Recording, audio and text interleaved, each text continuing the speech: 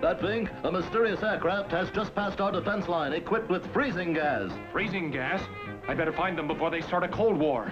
Well, it was the 1960s. Uh,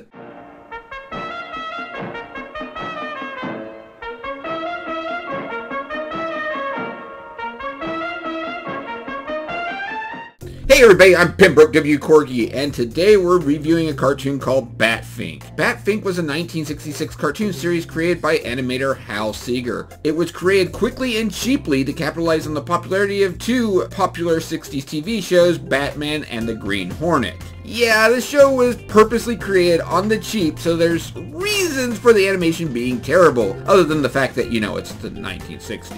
Batfink is about a superhero named, well, Batfink. Batfink is a cartoon bat, or at least I think he's a bat, but his wings are separated from his arms, which isn't typical of any bat I've ever seen. Hmm, maybe he's a Nimbat? I'm not talking to you anymore. Well, he's definitely not a Finks, seeing as he's a hero and all. His superpowers include his supersonic sonar radar, a weird version of Bat echolocation, where he sends out an actual word beep out to investigate the area for him. In fact, you'll have to get used to Batfink saying this. My supersonic sonar radar can help me. Because it happens in almost every episode. His other superpower is his wings of steel. They are literally wings made of steel, as he seems to be very proud of it, because he'll also say, Your bullets cannot harm me. My wings are like a shield of steel. Much like the radar line, this gets spouted out almost every episode. Batfink's personality is pretty much generic 60s do-gooder superhero to a fault. Not really much else to explain there. At Batfink's side is his persistent assistant who's, uh, hmm, hmm, how should I put this, uh, I- I'll just show it to you. Because you are a hero, I made you a hero sandwich. Thank you, Karate, but I really couldn't eat all that. Could you go for half? Yeah, Karate is his name. Karate might be an offensive Asian stereotype, but I'll give him one thing. Karate is also the best sound effect I've ever seen in a cartoon show. Karate is a bungling martial artist who often causes just as many problems as he does solve.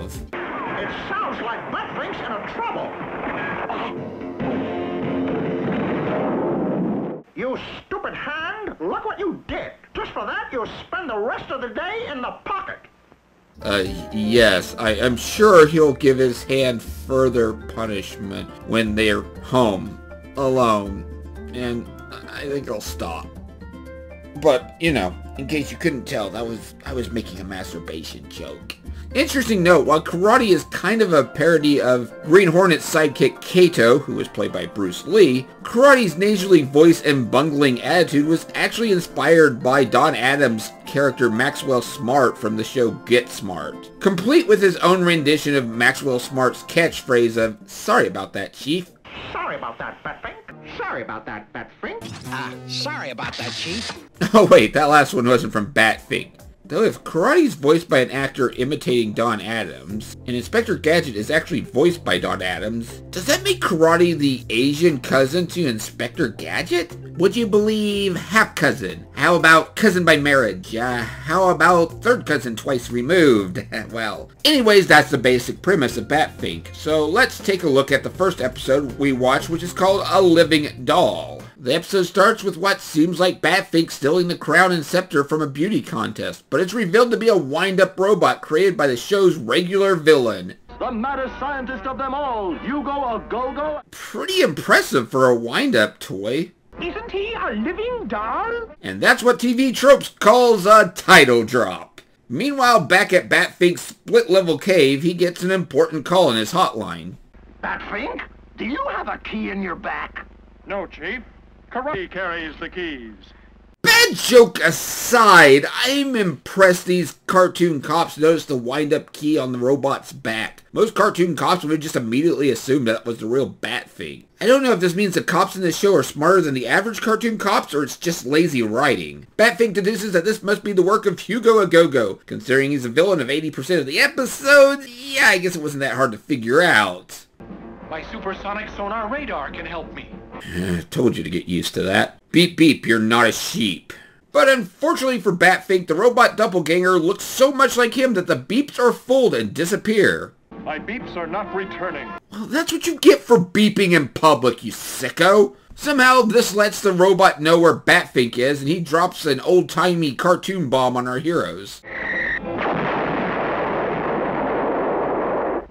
It's a good thing the Battillac is equipped with a thermonuclear plutonium-insulated blast shield. It's also good it was a small bomb. Oh yes, this is another running gag in the show. Another example. The heat caused the thermocontrol to activate the safety hatches.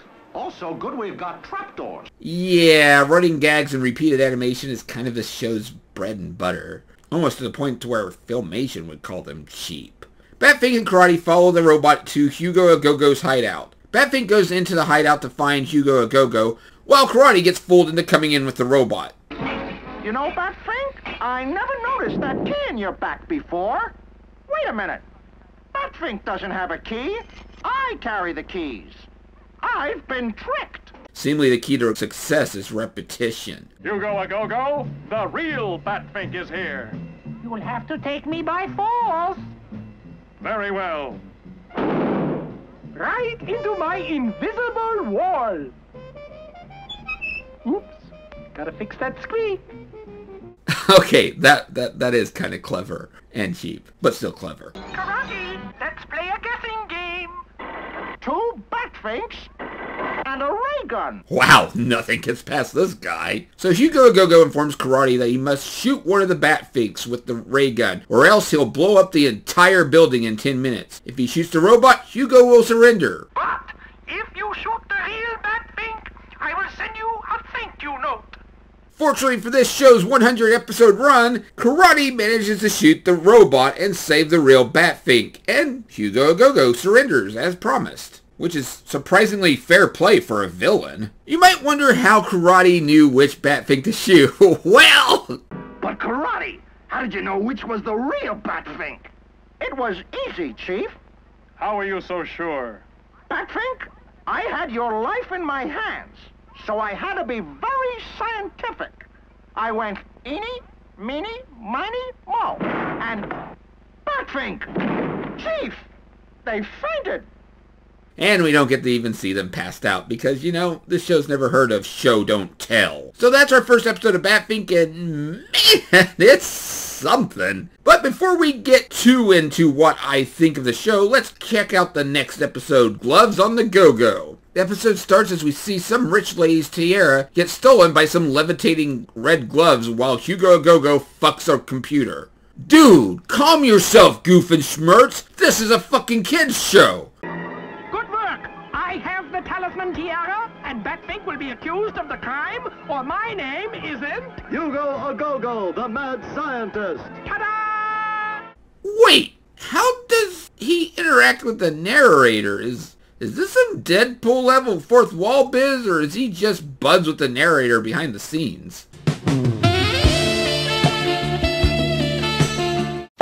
Also, why would people blame Batfink? They're just red gloves. Couldn't anyone have red gloves? Batfink, the talisman tiara was just stolen by a pair of gloves. That sounds like the work of Hugo Agogo, Chief. I'm on my way. No, Batfink, I'm on my way to arrest you. They were your gloves. What?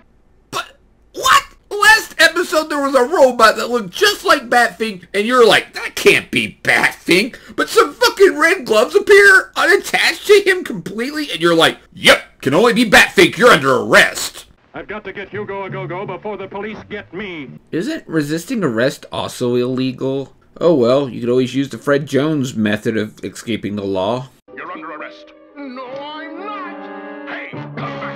So Batfink and Karate drive out in the Battillac. Oh yeah, I haven't mentioned that. The name of Batfink's car is the Battillac. I hate to say it, but I actually like that name better than the Batmobile. My supersonic sonar radar will help me. Take a drink. Due to the cheapness of this show, Hugo Agogo is hiding in the same place he was last episode. In fact, he's always hiding out in the same area in every episode he's in, and every time Batfink still needs to use his supersonic sonar radar to find him. I'd like to say Batfink should have caught on to this by now, but I'm sure this scene saves a lot of money and time on the animators. Batfink, they are your gloves. Size five and one half.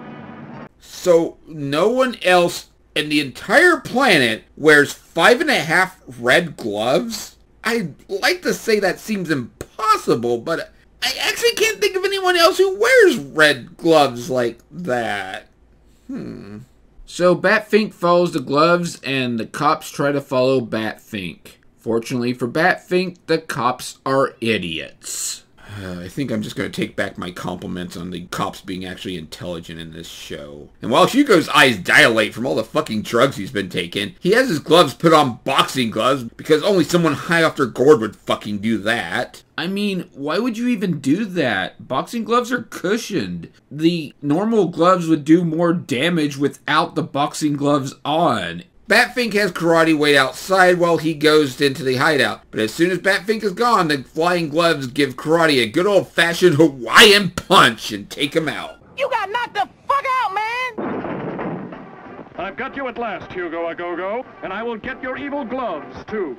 Is that a Wizard of Oz reference? The, the gloves don't take kindly to Batfink calling them evil, so they slap him like a bitch and then challenge him to a duel. Batfink agrees and tells them that they have to meet tomorrow morning at dawn. We flash forward to tomorrow morning, where the cops surprisingly still haven't found Batfink. Batfink, you will have no protection from your wings of butter. You mean my wings of steel? Oh, but this plutonium blade will go through them like butter. I don't think plutonium works that way. Also, isn't plutonium radioactive as hell? Shouldn't you all be dying of radiation poisoning right now?